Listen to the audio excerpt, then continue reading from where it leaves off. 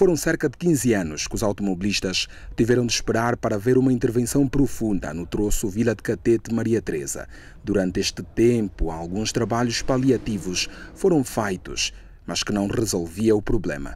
O governador de Luanda, Manuel Homem, considera que esta era uma das principais preocupações para aqueles que entram e saem da capital do país. Há 15 anos que esta obra devia ter sido intervencionada.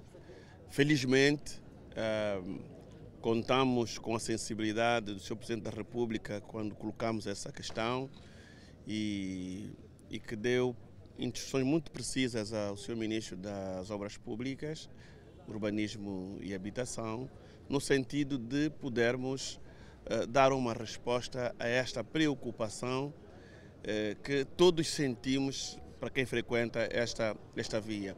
A obra de reabilitação deste troço da Estrada 230 será feita pela empreiteira Carmo, uma empresa nacional no setor da construção que dá garantias de concluir a execução da obra dentro do prazo estipulado. A nosso favor temos o nosso histórico nunca deixamos de cumprir os nossos compromissos, sempre nos pautamos por essa, por essa entrega de, de, de obras, muitas vezes em condições difíceis, né? em que tivemos que internamente fazer esforço para as levar a cabo.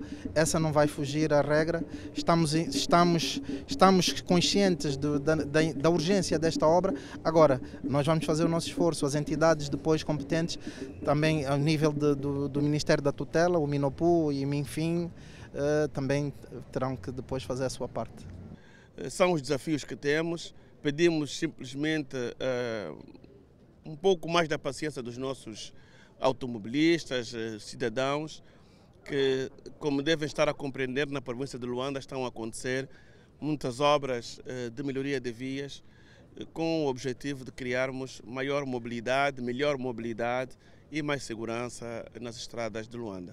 Esta obra visa melhorar a mobilidade entre Luanda e outros pontos do país e vai gerar mais de 30 postos de trabalho.